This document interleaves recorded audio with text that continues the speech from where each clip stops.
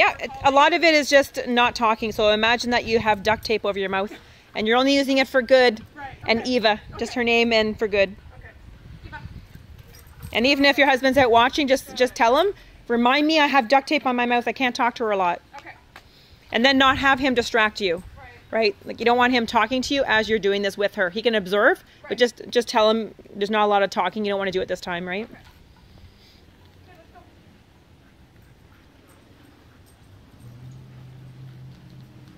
Yeah, so she can go along the fence line, she can go sniffing, you know.